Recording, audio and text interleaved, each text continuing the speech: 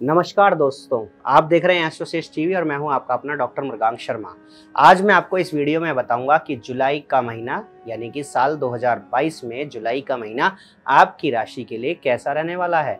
तो मेरे साथ इस वीडियो में शुरू से लेकर अंत तक बने रहिए। हमारे चैनल को यदि पहली बार देख रहे हैं तो इसे सब्सक्राइब कीजिए और वीडियो पसंद आए तो इसे लाइक और शेयर करना बिल्कुल ना भूलें। तो आइए शुरू करते हैं। अगर आपकी राशि मेष है तो आइए बात करते हैं सबसे पहले आपके करियर की। मेष राशि के जातकों के करियर के लिए महीना सामान्य रहेगा।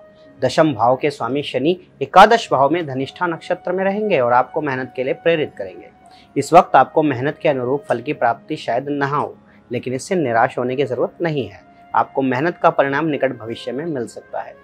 तीसरे भाव में सूर्य और बुध की युति होने से माह के पूर्वार्ध में कारोबार करने वाले जातकों को फ़ायदा होगा। नए रोज़गार से संबंधित मार्ग खुलते नज़र आएँगे। बिज़नेस में आपकी योजनाएँ अच्छा परिणाम देंगी और इसमें आपको बिज़नेस पार्टनर का भी सहयोग मिलेगा। यदि आप नौकरी की तलाश में हैं तो माह के पूर्वार्ध में आपको अच्छी खबर मिल सकती है। नौकरी में चल रही रुकावटें भी इस समय दूर होंगी। सीनियर ऑफिशियल से आपके रिश्ते सामान्य होंगे और इसके साथ ही सहयोगियों से भी तनातनी दूर होगी। आपकी राशि के अनुसार बारहवें भाव में बृहस्पति ग्रह के होने से विदेश से संबंधित नौकरी और व्यापार में उन्नति दिखाई देगी। कर्म क्षेत्र में मेहनत का पूर्ण फल प्राप्त होगा। शिक्षा की बात करें तो विद्यार्थियों के लिए शिक्षा के दृष्टिकोण से महीना काफ़ी मेहनत से भरा रहने वाला है। बारहवें भाव में उत्तरा भाद्रपद नक्षत्र में बृहस्पति के होने से विद्यार्थियों को फ़ायदा होगा। साथ ही पंचम भाव पर शनि ग्रह की पूर्ण दृष्टि होने के कारण पढ़ाई में मेहनत के बाद अच्छे परिणाम मिलेंगे। विद्यार्थियों को ज्ञान प्राप्त करने की सही दिशा मिलेगी। प्रतियोगिता परीक्षा की तैयारी कर रहे विद्यार्थियों के लिए यह समय काफ़ी अच्छा रहेगा।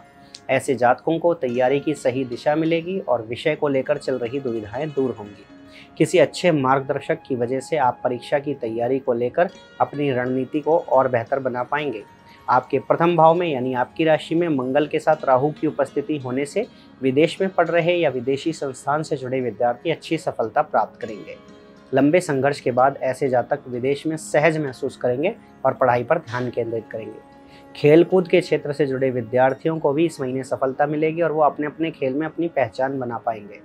संभव है इस दौरान ऐसे जातकों को सम्मान भी प्राप्त हो।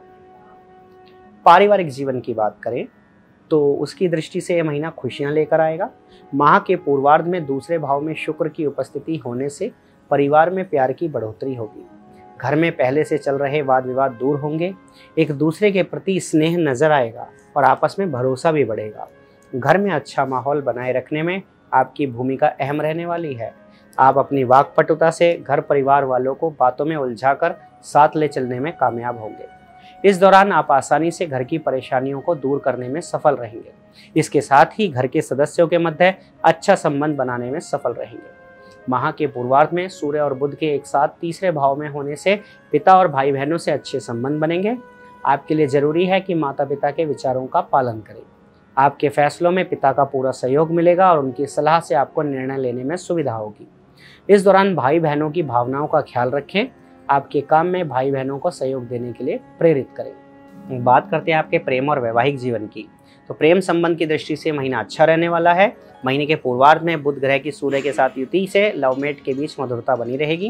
लेकिन पंचम भाव पर शनि की पूर्ण दृष्टि होने से आपको अपने शब्दों पर विशेष रूप से ध्यान देना होगा। जितना हो सके कम बोलें और सोच समझ कर बोलें। यदि आप ऐसा करते हैं तो वाद विवाद से दूर रहेंगे या विवाद सुलझाने में कामयाब होंगे।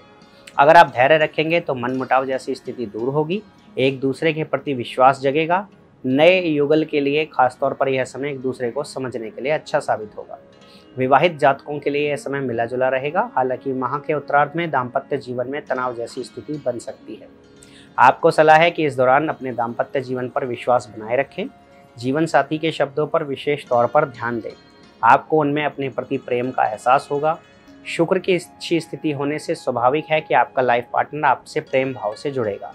अपने काम से समय निकालकर जीवन साथी के साथ ज़्यादा समय गुजारने की कोशिश करें। आर्थिक जीवन पर आते हैं। यह महीना बहुत अच्छा रहेगा इस दृष्टिकोण से। महीने के पूर्वार्ध में ग्यारहवें भाव में शनि के स्थित होने और दूसरे भाव में शुक्र की उपस्थिति से आपको अच्छा आर्थिक लाभ होगा। इस दौरान सूर्य के चौथे भाव में उपस्थित हो जाने से आप अपने भौतिक सुखों को प्राप्त करने के लिए धन का खर्च कर सकते हैं। हालाँकि आपको इस बात का भी ध्यान रखना होगा कि ज़रूरत से ज़्यादा खर्च करने पर आपको मुश्किलें आ सकती हैं। व्यवसायियों के लिए समय विशेष तौर पर फ़ायदेमंद रहेगा। व्यापार में विकास के साथ आपकी आर्थिक स्थिति भी मज़बूत होगी। आमदनी के रास्ते खुलेंगे, साथ ही आप निवेश करने का फैसला भी ले सकते हैं। शेयर बाज़ार में निवेश करने वाले जातकों को इस समय ज़्यादा फ़ायदा होगा। इस दौरान आप पुराने कर्ज से मुक्त हो जाएँगे। बारहवें भाव में बृहस्पति के उपस्थित होने से यह समय विदेशी व्यापार के लिए अच्छा रहेगा। आपको बड़ी मात्रा में विदेशी धन की प्राप्ति होगी और इस समय धन संचय करने में भी सफलता मिलेगी। स्वास्थ्य की बात करें तो उसके लिए महीना मिला जुला असर देगा। इस दौरान स्वास्थ्य में थोड़ी बहुत परेशानियाँ दिख सकती हैं। यदि आप विवाहित हैं तो इस समय ससुराल पक्ष से संबंधित परेशानियाँ ज़्यादा रहेंगी, जिनके चलते आपके जीवन में भाग दौड़ जैसी स्थिति बनी रहेगी। अपने खान पान पर ध्यान दें, क्योंकि भाग दौड़ के कारण स्वास्थ्य में परेशानी आ सकती है। अत्यधिक व्यस्तता के कारण भी आप मानसिक तनाव से घिरे रहेंगे और इसका असर भी सेहत पर पड़ सकता है। छठे भाव पर बृहस्पति की दृष्टि से खुद का ध्यान नहीं रखते हुए दूसरों की भलाई में जुटे रहेंगे। इसी वजह से आपकी दिनचर्या और खान पान भी प्रभावित होगा। यदि आप ब्लड प्रेशर या डायबिटीज़ जैसी बीमारी से पीड़ित हैं तो इसका खराब असर आप पर पड़ेगा। आपको हमारी सलाह है कि नियमित जाँच करवाएँ और समस्या बढ़ने पर तुरंत डॉक्टर की सलाह लें। महीने के उत्तरार्ध में सेहत को लेकर आप पहले से थोड़ा अच्छा महसूस करेंगे। खुद के अंदर ताकत महसूस करेंगे। इस दौरान आपको पुरानी बीमारियों से भी छुटकारा मिलेगा। हालाँकि आपके लिए ज़रूरी है कि खान पान का ध्यान ज़रूर रखें और नियमित व्यायाम भी करें। इस महीने आपको जो उपाय करने हैं, उनमें घर में सुंदरकांड का पाठ करें या कराएँ। प्रतिदिन श्री हनुमान चालीसा का पाठ ज़रूर करें। राह पे चलने वाले कुत्तों को भोजन प्रदान करें और रविवार को भैरव मंदिर जाकर इमरती और दूध अर्पित करें। प्रतिदिन श्री आदित्य हृदय स्रोत का पाठ करें और सूर्यदेव को जल चढ़ाएँ। तो दोस्तों, ये था आपकी राशि का जुलाई 2022 का राशिफल। मैं आशा करता हूँ कि जुलाई का ये महीना आपके जीवन में सुख और समृद्धि लेकर आए। आपको सभी सफलताएँ प्राप्त हो। डॉक्टर मृगांक शर्मा की ओर से आपको बहुत बहुत शुभकामनाएँ। For regular update follow our Instagram page right now.